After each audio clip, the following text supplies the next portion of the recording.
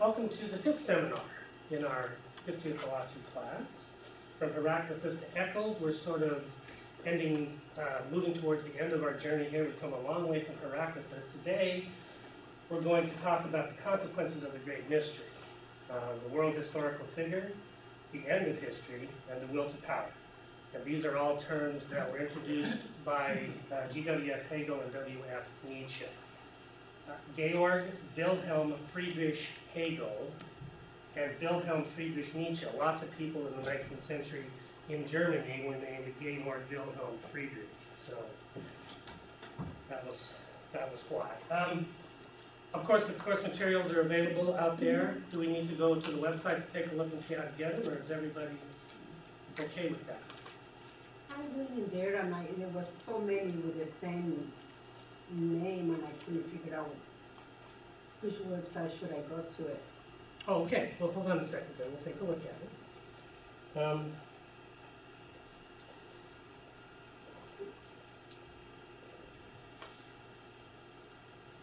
Okay, so it's narrowgatealliance.org. Okay, so narrowgatealliance.org. Alliance, that's what it is then. Okay? So just, yeah, then once you get here, you'll just uh, move the cursor over to the, and just hold it over the NK Seminars tab. And then here's History of Philosophy. And then here are all of them in order, basically. So today's PowerPoint presentation is at the bottom.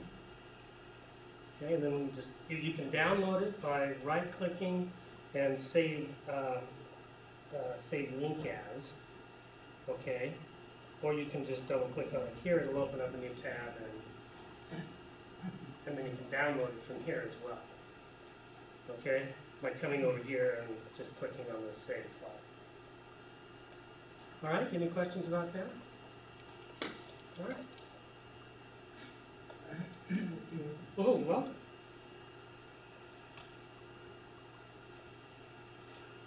All right. So, uh, scheduling note, we'll be in hiatus next week again, so our, uh, on the 22nd. So our next seminar is on Monday, October 29th. So that'll be the sixth seminar. Then we'll be off a month. And we'll meet again on November 26th for the seventh seminar, and then the following week on uh, December 3rd for the final um, seminar number eight. So not, not meeting next week, meeting the following week, and then we have a month off. All right. So let's review where we are. Uh, seminars one through four will be the ancient mystery religions through Immanuel Kant, roughly 6000 BCE to 1804 CE. So remember this, everything here, everything, all of our religions, all of our science, all of our literature, all, everything begins with the ancient mystery religions. Okay? That is the source of every single cultural artifact that we possess. Okay? And they were based on secret initiation rites, what we would call today psychodramas. We will see an example of those in, next, in two weeks in the next seminar. Uh, they believed that the, they believed based on their own experiences that the immortal soul is here for training. And they use various training methods. Athletics, gymnastics, yoga, tai chi, meditation, hypnosis, the psychodramas, uh, you know, just standard educational techniques for concepts and linguistics and language and terminology. Um, they believed that this training was necessary in order safely to travel to the underworld and back. Okay? This is their concept of practicing death. For them, it was a mythological representation of practicing death was the journey to the underworld and then back.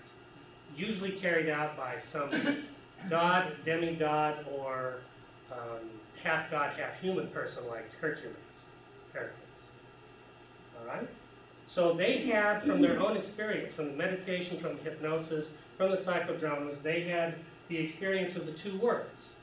The world of the spirit, the ideas, the forms, the soul, the afterlife, all of those terms refer to that world, uh, the immaterial world, and the world of matter. Okay? Knowledge basically is the bridge between the two worlds. Knowledge is what we use to describe the two worlds in general and also to bridge between the two.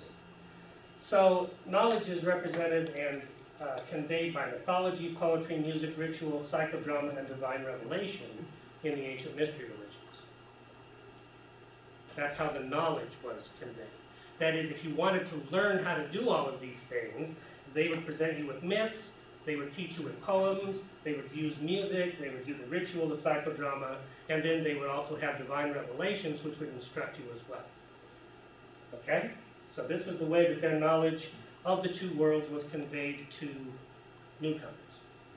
All right? And in 325 CE at the First Council of Nicaea, all the ancient systems, all right, the ones from Persia, uh, the Hebrew systems from Jerusalem, the Babylonian, the Egyptian, the Greek, the Roman, the Gnostics, all of them were subsumed under Christianity until Descartes in the 17th century. Okay, so basically in the Western world, it took all of that and just lumped it all into Christianity. If it was Orthodox, then it was kept. If it was unorthodox, it was declared a heresy and destroyed.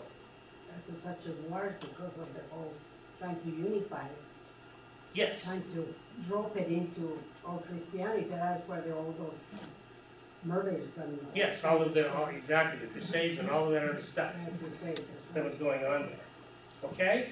Greek rationalism and the practice of reason, which we get in Heraclitus, Parmenides, uh, Socrates, Plato, and Aristotle, is suppressed. Deliberately suppressed. Because they do not want reason. What they want is myth, poetry, music, these kinds of things, the religious kinds of things. All right, with Descartes, however, a return to the Greek concept and practice of reason as the source of knowledge is begun. So Descartes wants to eliminate the um, grasp on the conveyance and investigation of knowledge from the religious groups and put it back in the hands of rationalism, the Greeks. All right, so there's an abandonment of religion as the source of knowledge. So mythology, poetry, music, ritual, psychodrama, revelation, all of that is now cast aside by the modern philosophers. Okay, and there's a whole bunch of reasons for that. Many of them historic. The fact that for you know 1100 years the church had had a stranglehold on knowledge, and there had been no progress in that 1100 years. None, no progress whatsoever. Essentially, we were still living at the same level of culture as we were back in 400 CE. So that was part of it. Um, this was the inception of the Age of Enlightenment, where the physical sciences, mathematics and logic, psychology, and the Industrial Revolution all began to flourish. As a result of this turn back to the rationalism of the Greeks and away from the revelation of the religions. And I think because of this last portion, um, they kind of fade away. Fate? Oh, yes, the concept of fate, yes, because and that is a took religious. over all the science and Mhm. Yeah. psychological and everything, and, but some areas, some, some, somehow they kind of go back and forth because it's not so clear each path is as it's supposed to be. Mhm. Okay, now what, what will happen, what we will see next time is that there is a, the religious part of this whole equation has gone underground, okay? So what we have is we have, we basically have um, a complete separation at this point of uh, reason and versus revelation, but the revelation part of it, the ancient mystic practices are still there. They're just not not explicitly brought into any of the philosophical or historical or scientific works, even though they're there. Occasionally we get glimpses of them. All right, but but they're here, they're hidden, they're occult, they're occulted. Um, even though they're still being practiced by these same people. Okay, but there is this change. So, ra- Western rationalism um, um, is the analysis of the relation between spirit and matter okay, a rational analysis of the relation. Descartes said there are two substances which we can demonstrate. Res extensa, this kind of stuff, and res cogitans, us. Okay, spirit, the old word for spirit. Spinoza said, wait a minute, I want to focus on the material aspects of this, and he said that, that everything is material, including God. God equals nature. So there is no immaterial kind of a being out there who ha- who's running everything in the background anymore. what we have is the, the transfer of the concept of God from that kind of a, you know, uh, uber father, this over father kind of Nature. figure, into nature. Nature is God, sort of the pantheistic kind of view, although I wouldn't say that Spinoza was pantheistic. He's materialistic. God is nature. All right? There may be no self-consciousness in this natural God, uh, like there is in the ancient concept of God as an immaterial, you know, intelligence. Leibniz talked about windowless monads. He's trying to describe the relationship between uh, res cogitans and res extensa. And since the two are separate, it's kind of difficult without some kind of third-party intermediary.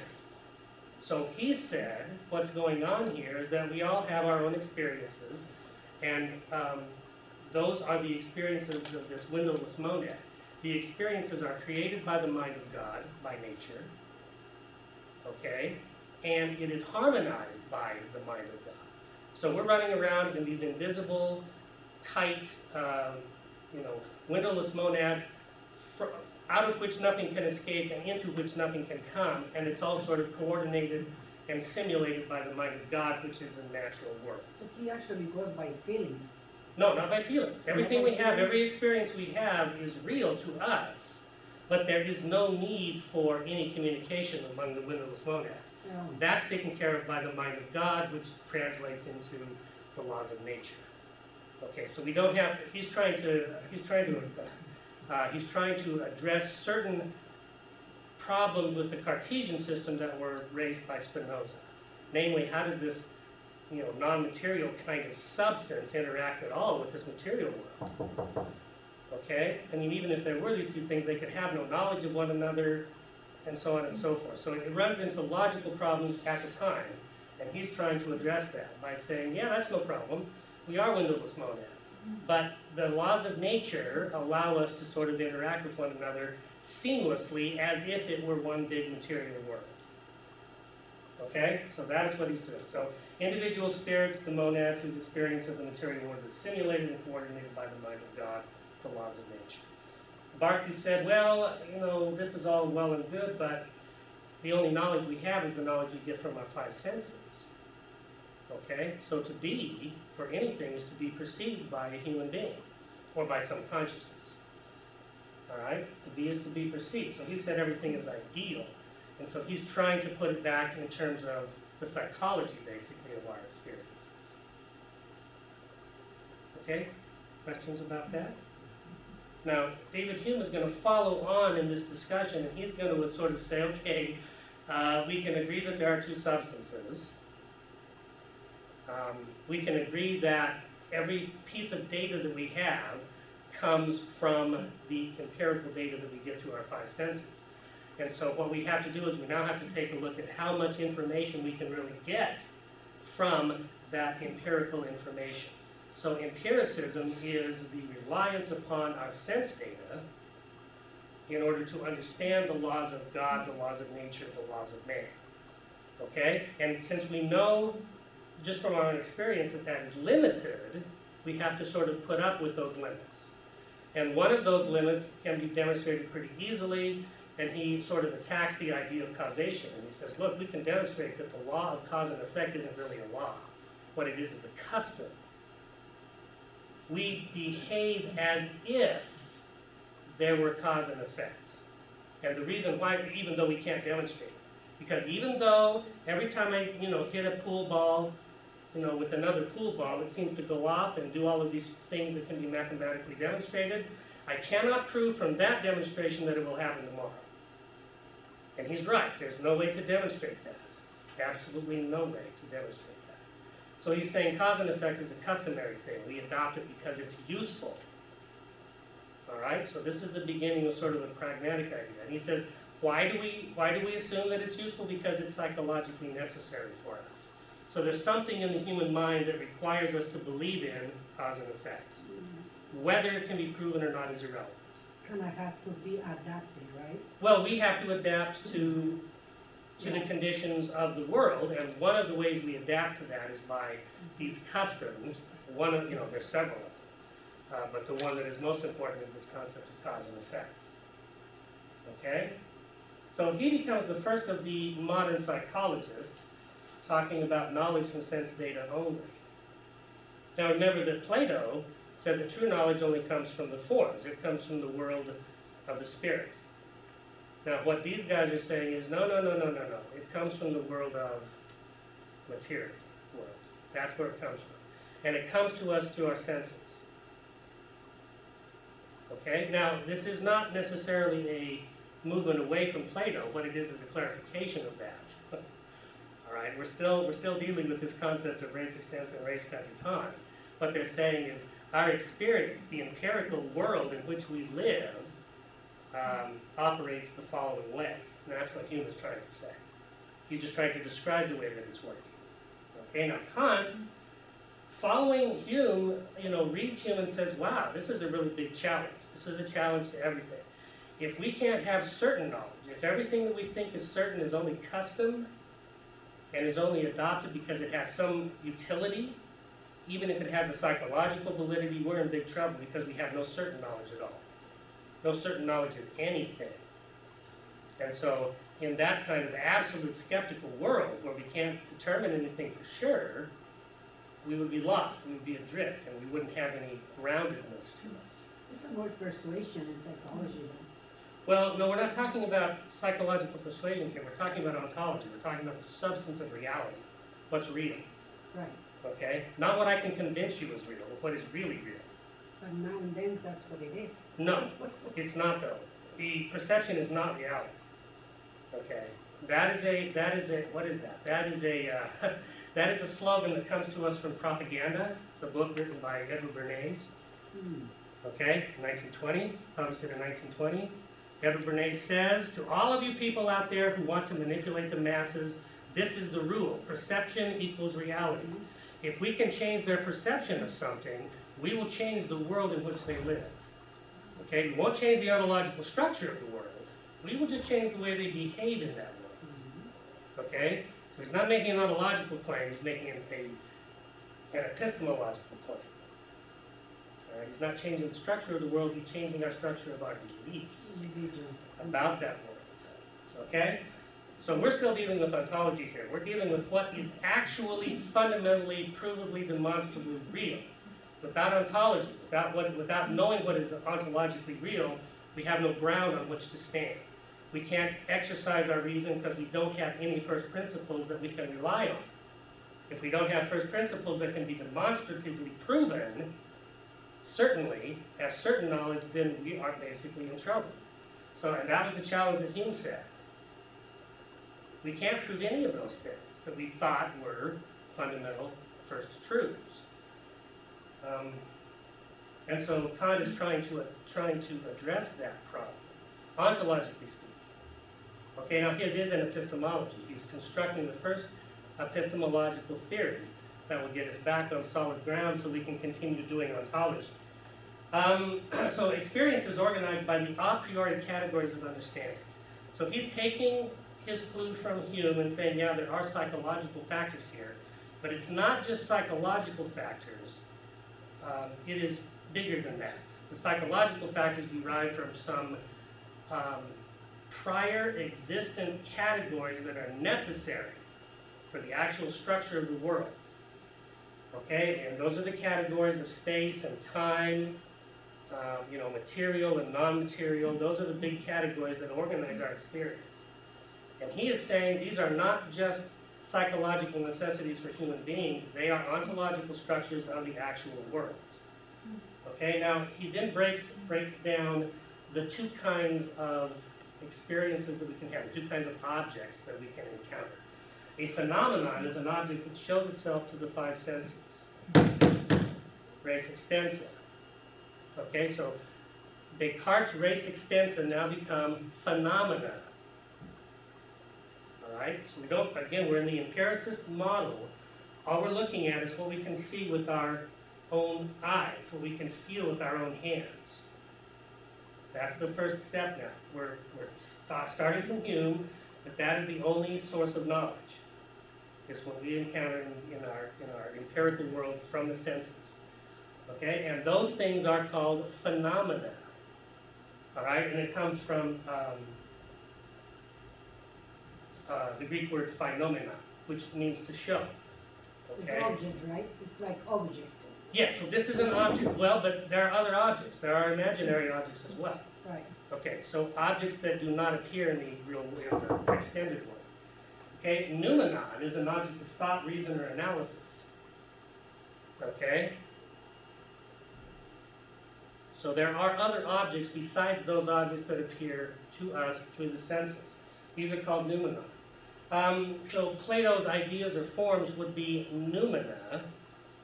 Okay, it's always based on the underlying phenomena, and which is directly inaccessible to the mind. So we've got, we've got, we're sort of locked into this situation that Hume created, that Hume described, mm-hmm. in that we are limited by our sense data for what we can know about the world. Even the ideas that we have about the world always will be referred back in some way or another to the actual things that we've encountered in the real world. Even imaginary. Can be that the imaginary like abstract because it's An abstract it's concept directly inaccessible to the mind. Right. Abstract concepts are accessible to the mind. Yes. But they are based upon this stuff. Okay? They are always based upon some phenomenon that we have encountered. Okay? So noumenon equals the essence equals the thing in itself, if we could get to it. But we can't. And we don't need to. I mean, it's not important that we get to it. Our experience is limited and bounded by the things which, you know, by the rules, by the categories, and by the, uh, the sense data that we get, the empirical world. Okay, reason therefore has innate limits to the knowledge it can provide. All right, so he's setting some limits. So now, uh, just to compare the two, ancient East-West and modern Eastern philosophies and cultures are based on religion and revelation. So if we, you know, starting at the 17th century, if we move forward until the late 18th and early 19th centuries, all of the Eastern worlds, China, India, Thailand, Malaysia, you know, in, in, you know, Indonesia, Singapore, all of those Eastern worlds are still locked in the old revelatory kind of, you know, world, culture, that they had had for thousands and thousands of years. The Chinese culture is, you know, five, six, seven, eight, who knows, long time. The Jewish, the Jewish is old, you know, the Indians are old, very old, and they have not changed. They have not changed at all, basically, from the time they were founded until the late 18th and early 19th centuries. Okay, they were very conservative. They minimized any changes. Uh, they were also nihilistic. The next life is always better than this life. This life is the world of suffering. And our only objective is to find a way through it as easily as we can and then leave it at the first possible opportunity. Hopefully in a state of grace. okay? Uh, but the modern West is based on reason and its limits with the renunciation of religion and revelation. We are not no longer concerned with revelation or any kind of religious knowledge because it provides nothing that will allow us to cope with the actual, you know, material world out there, which is constantly changing and constantly in flux, as Heraclitus reminded us. It is the world of becoming that is the most obvious one that we get that we encounter. It is progressive. It wants to maximize inquiry leading to change. It wants to be able to keep up with the changes, and in fact to begin to guide those changes and make those changes occur when it wants it to. It's positivistic instead of nihilistic. The world of experience, the world, the world of experience, the empirical world is the only world that there is. Okay? How do you say the word nihil? Nihilistic, nihilism, Come, comes from nihil, which is a Latin word meaning nothing. So a nihilism is a, um, is a debasement of something, whatever it happens to be. We'll see that term in just a little bit, and it will make much more sense. All right, any questions about where we are at this point in the history of Western and Eastern thought? We're now at the beginning of the 19th century, uh, early 1800s, okay, with, with Hegel. And Uh, we have now had about 300 years, roughly, of progress and change and industrial revolution, you know, building into this from the early 1500s all the way into, you know, the early 1800s. So, any questions about that? We're still living, we still have the two concepts, spirit, material, mind, body, world, you know, we still are dealing with all of those, because those, those appear to us in our everyday existences. I can imagine things. When I go to sleep at night, you know, I experience a different thing in my dreams. Um, you know, I can meditate and I can actually experience that separation of soul and body. I can actually do all of these things. I can continue to do all of those things. But the attention and the intention in the Western world is now focused not on those things, which are now pretty much, you know, just part of the everyday occurrence of these people. We now want to take everything that we've learned and turn it outward and take a look at the external world and begin to master that external world, which is something that the Eastern worlds did not do until they were forced to do so by the Western world. Yeah. This, this would explain the reason why there's a culture clash, clash between the, um, people in the Middle East who are still in the Stone Age, basically, with us, who are advanced, Yes. and, well, Yes. we are. Yes. Exactly. And that's and that's war. yes. And we will we will now begin to investigate exactly what's going on there.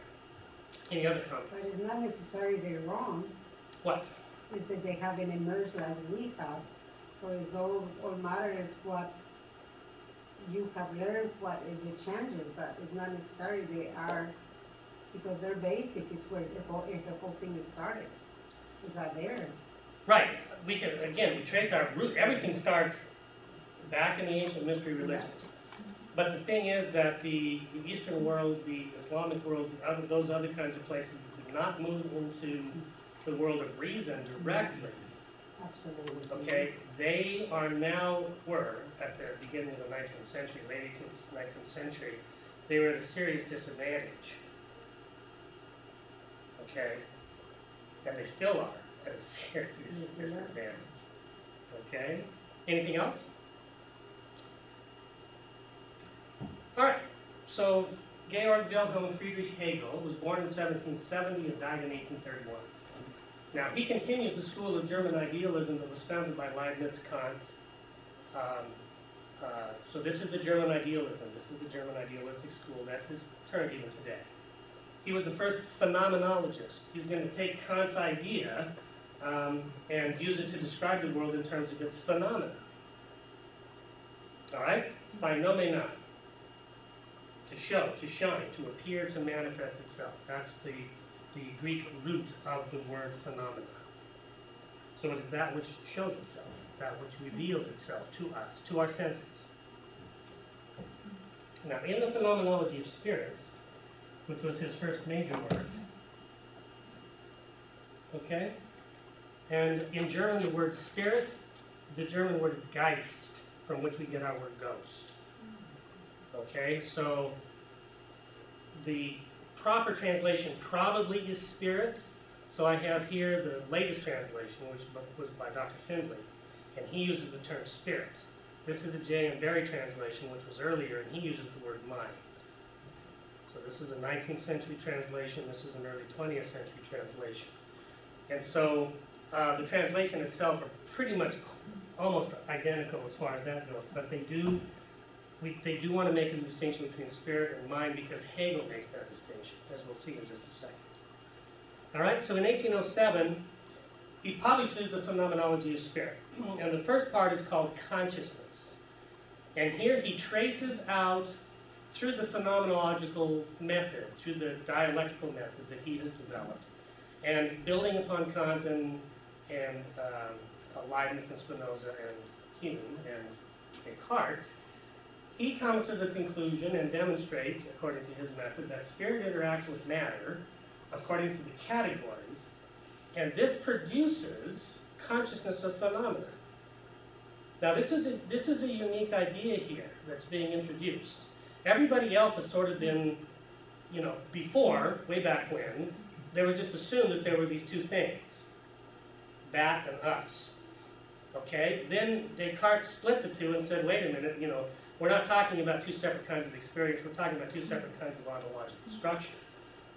Okay, then there was the problem of how do these interact? And what Hegel is saying is that they, they occur together. Now, Kant was also saying this. Everything that happens occurs together. Consciousness is the result of this interaction between spirit and matter. Okay? And this is a unique idea. We'll see this again as we move forward. We'll see this again because this becomes a very important key part of modern philosophy. Can't have one without the other. You cannot have consciousness without an object of consciousness, basically, is the claim here.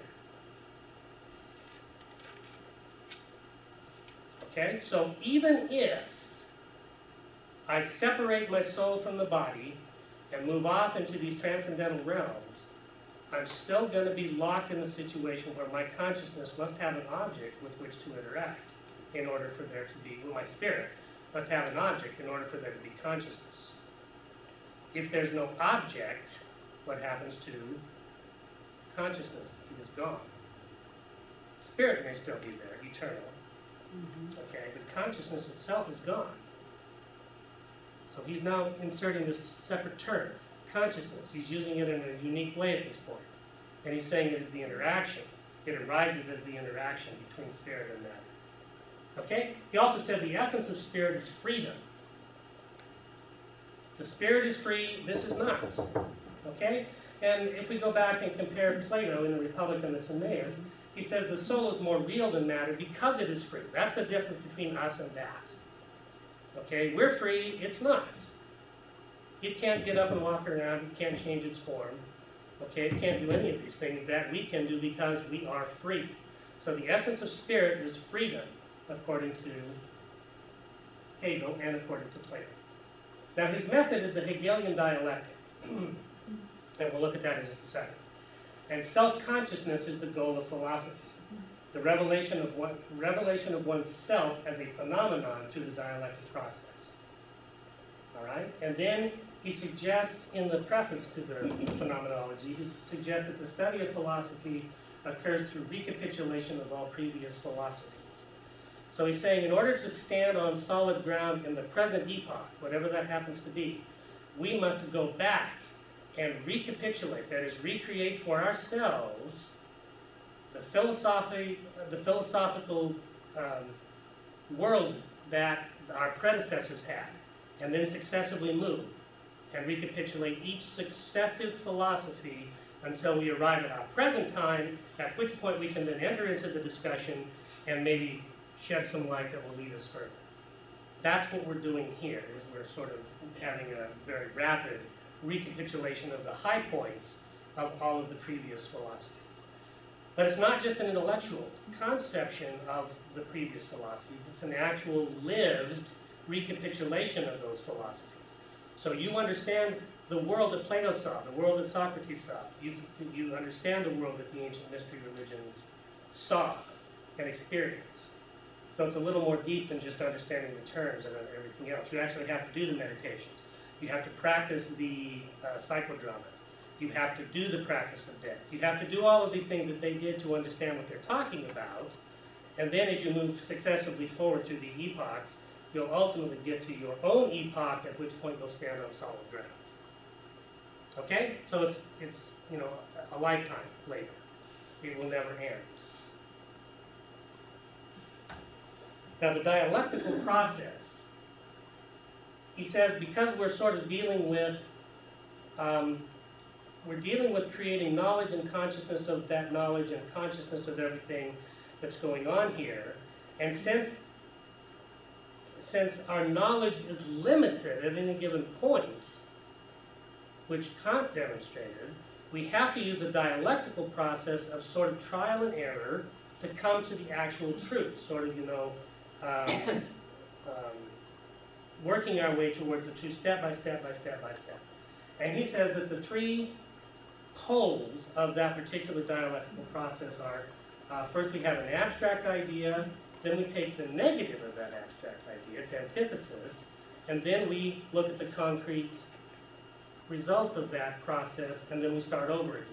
Abstract out from the concrete that we've just recognized, negate it, find its antithesis, and then look at the concrete again through this new lens. So a continual refinement of our understanding using these three processes. Okay, so it's trial and error on the phenomenon, the iterative process of revealing contradictions and our understanding of the world. So if we try to understand the way that the world is operating and we encounter a contradiction, we then need to take a step back, abstract out everything from that to see what the logical structure of that contradiction is. Resolve that contradiction in some way or another, apply it to the concrete world, see if it fits, and then move on from there, continually applying it. So contradiction becomes the key element that tells us we have to apply this process. If there's a contradiction, we need to look further. Okay? Now, this is the way of truth that Parmenides talked about, as opposed to the way of opinion. People who just listen to what Fox News tells us don't go through this process. There are no contradictions for them.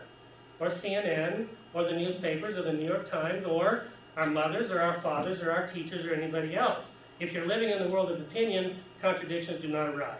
You simply do what you're told. Only the philosopher is concerned with contradictions and the way of truth. Okay? Does that make sense? This becomes important in just a little while. We'll see why. This process leads to sublation. German was Aufheben and Aufhebung. Um, Aufhebung is the verb, verbal, the verb form of that, and Aufheben is the, um, I'm sorry, this is the noun, that's the verb. So, and sublation basically means three things, abolish, preserve, and transcend, which is those three, you know, abstract, negative, and concrete. So here we get the concept of this dialectical process that is ongoing. If we want to understand the way the world operates, we have to do these things continuously. Science works this way, through hypothesis, testing, confirmation, retesting, experimentation, and all of that. This is basically the way that we gain knowledge of the extra of the world, the whole world in which we live. Okay? Um, thesis, antithesis, synthesis is a phrase that is normally associated with Hegel. He never used that particular phrase. It was coined by Heinrich Moritz um, and was based on the Kantian dialectics. And he was he was a um, he followed Hegel and was an interpreter of Hegel in the German universities. And so he sort of made this stick because his students liked it. It was sort of catchy, you know, kind of easy to think about, thesis, antithesis, synthesis, and so that's what we get today. But Hegel, analytic, right? pardon me? It was more analytic. Well, this is, this is the dialectic process. Dialectic, so it comes from two, dia meaning two in Greek, and lexis meaning, um, we get our lexicon, words, using the logos, using our reason. So it's two people engaged in a dialogue, okay, revealing the contradictions and coming to a new conclusion. So that's what dialectic means. And so we, we don't necessarily need another human for the dialectic because we can do it ourselves. But that's where it arises from, is that old dialectical process. Okay? Now, part two of the phenomenology of spirit is called self-consciousness. All right, so remember, this is the highest goal of philosophy, is the self-consciousness of the philosopher. So we become conscious of the external world and our relationship to it. Now we have to become conscious of ourselves. Who are we, what are we, and so on and so forth. This requires another consciousness in order for it to be complete. We need to have other humans out there, other consciousnesses. Okay? However, we immediately run into a major type of contradiction because in this relationship between us and other consciousnesses, there is necessarily the, uh, uh, the arising of an inherent relationship of lordship and bondage, master and slave. Okay? Every relationship, every human relationship, every relationship of a human with another consciousness, like an animal, is based upon bondage and lordship, lordship and bondage. All right, there's going to be those two poles of that relationship. One of them is going to be the Lord, one of them is going to be the slave. Always. And it is in this, the tension that arises between these two poles of the dialectic of self-consciousness that all of history plays itself out in. Okay? He says this persists only because of the slave's fear of death at the hands of the master. Once this fear of death is overcome, the slave will revolt and become the master and enslave others until they revolt. And the process continues. Okay? So this is where Marx and Engels sort of based their, their ideology of Marxism and communism um, on this particular aspect of the Hegelian system. Okay, now this, again, this is not new stuff. It is just now being put in the context of modern philosophy in the Hegelian system itself. Okay? Um, and we can take a look at the first man of Thomas Hobbes. Um, and the concept of first man will become important when we talk about the last man. All right, this is the quote from Thomas Hobbes in the Leviathan. For every man looks that his companion should value him at the same rate he sets upon himself. That is, we want you, I want you to value me as highly as I value myself. And upon all signs of contempt or undervaluing, naturally endeavors, as far as he dares, to extort a greater value from his contem- uh, contemners by damage and from others by example. So in other words, in the master-slave relationship, if I don't like the fact that you are trying to, you know, one-up me and do all of those things, I may attack you. I may, you know, do all of these subversive kinds of things to attack you subversively. Uh, you know, all of these Like kinds. sabotaging thing. Oh yeah, right? absolutely. Mhm. And so this is the first man. This is the man of the jungle. This is the man of nature. Okay, who is simply out there and pursuing his own goals, and you know gets involved in this you know master-slave relationship with other human beings. Okay, this relationship and its two antithetical moments are the dialectic through which he gains self-consciousness. Okay, now we'll compare uh, toward a genealogy of morals with Nietzsche just a bit, where he talks about master-slave relationships as well. All right, and then later on, Freud's civilization and its discontent, he goes back to Nietzsche and Hegel and he brings it into a psychoanalytic perspective and talks about the fact that culture um, creates a, especially modern culture, creates a uh, an almost necessary feeling of dread and anxiety and depression and fear in the large portion of the population because they have been forced into a state of slavery. Okay? And anytime they try to break out of that and exert their own freedom, they're slapped down by the authorities. So that is civilization as discontent then talks about that as being the cause of this sort of universal anxiety that we feel. Okay, now in the philosophy of history, which is here, 1837, this is a, this is a compilation of several um, seminars, uh, courses that Hegel taught at the university. And so it wasn't published until after his death. It was collated from all the notes of the students, from his notes, and you know, compiled, you know, compiled and put together in a pretty good format. World spirit, he talks about the world spirit as the mind of God. Again, the, the laws of nature. Okay? Whatever is compelling us towards the future is, you know, the old concept of the mind of God, and the new concept is the laws of nature. We are moving towards a specific end goal. History has a goal. Evolutionary and progressive transcendence of inferior cultures like the Chinese, Indian, Roman, Greek, Egyptian, you know, whatever, Saudi Arabian, whatever. Okay? This is, we have to overcome them. So those are old times. Those are, you know, first level and, well, first order and second order civilizations, which must be transcended and abolished. Because they're not going to get us where we need to be, which is the end goal, a world state which will result in the annihilation of the need for the lordship and bondage relationship and result in maximum freedom for all spirits. That was his vision. A political situation that would provide for us to be free of bondage and lordship relationships so that we could all then explore our own freedom.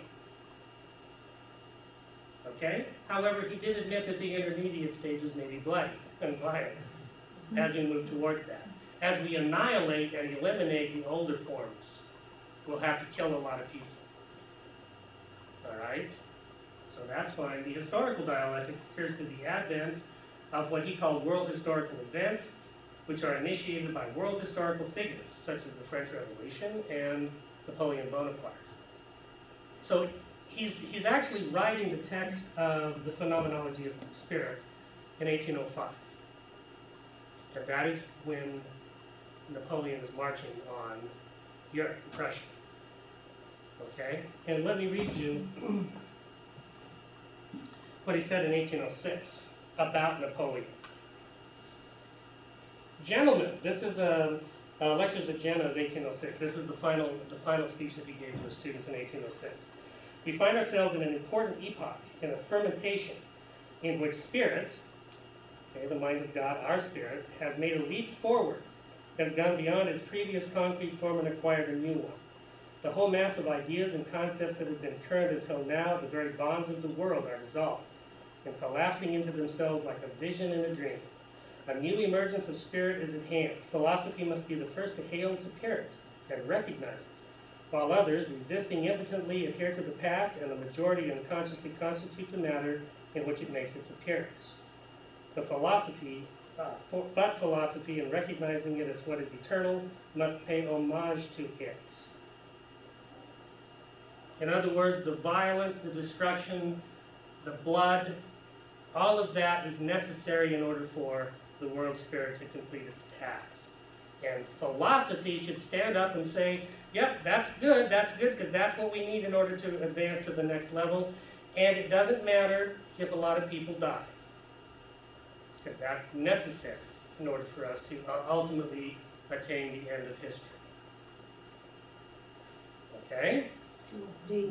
The end of history, this Oh, oh. perfect utopia. Yeah? So are, is this freedom of spirit when we all go back to just spirit? No, no, he's saying it's here. It's here in the real world, in the, uh, yeah, what we consider the real world. Yeah, the material world, the world, because remember, he's now abolished that distinction. There is, the only world we have, the only world we can encounter is the world here, this. This is it. There's only one world, and this is it. It does happen to arise because we are spirit, and it is matter, but that combines to give us the consciousness of the world that is the only world. There's no way around this. There's no way away from it. There's no escape. There's no need for escape because this is where all the action is. Okay? So there's no nihilism here. This is a positive vision. Positive coming from the word to posit, to, you know, to, to position, to take a position on. Okay, we'll see that term a little bit later too as a technical term. Okay? So it's a positive world. This is it. This is the only world we live in. There's no escape from it. There's no need to escape from it. Everything is happening according to a plan by the world spirit, this evolutionary trend towards whatever it is that we're moving towards. And it is taking place in these violent confrontations between the older cultures and the newer cultures. And of course, it has to play out in the material form of human beings that are engaged in this struggle between These the older. there, Yeah, okay? They're just happening, and they keep on happening. Yes, okay? So that was the epigraph to Kojève's introduction to the reading of Hegel. Now, Kojève will be important in just a second. Okay, with Hegel, modern philosophy becomes uh, more and more political, more and more obviously political. And there is an overt rendering of the concept of progress into philosophy, which was missing from the ancients, except, of course, for Socrates, Plato, and Aristotle, who are talking about reason and progress and all these things, and was still missing from the modern Eastern cultures until the late 19th and early 20th centuries. So, does this answer our question from an earlier seminar about what happened to cause the divergence between East and West in the 17th century? Sure does. Okay, we're trying to explain what happened there. And what happened there was that with Descartes, there was a turn back towards reason and back towards um, what we would now consider to be the scientific method. And that put the Western world, Europe in particular, at a huge advantage over the rest of the planets. And the rest of the planet never caught up and still hasn't caught up. What we are experiencing right now is the end game of that particular turn. The lack of evolution is actually what is the, the fiction, right? Evolution by them, by their part. Evolution, yes, exactly, they did not evolve, and therefore they must be discarded violently. Okay, that is the, that is the basis of evolutionary theory. That which does not, that which does not deserve to survive won't survive.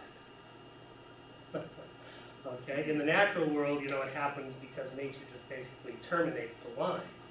In the world of human beings, it happens because we go out and exterminate people that we. I think the new generations in, in, in Europe, they are, have access to other countries. They are really forcing this conflict even more Mhm, to arise and to, want to be part of the evolution. But then again, the culture is, is such a big fight. mhm. And when they don't have the spiritual freedom, because they don't have the spiritual freedom, they Mhm, want to have it, but they don't. mhm. And that is the big crashing.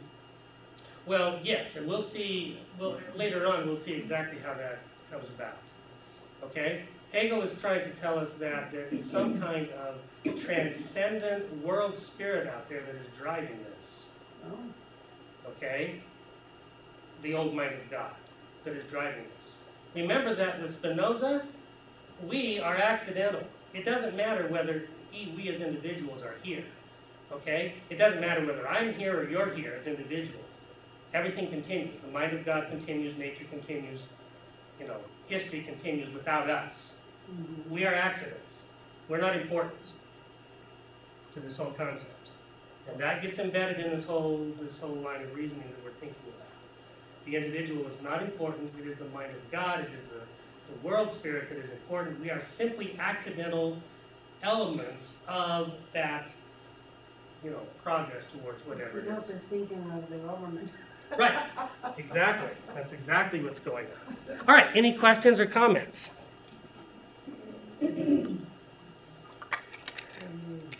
All right, let me change the, the tape here.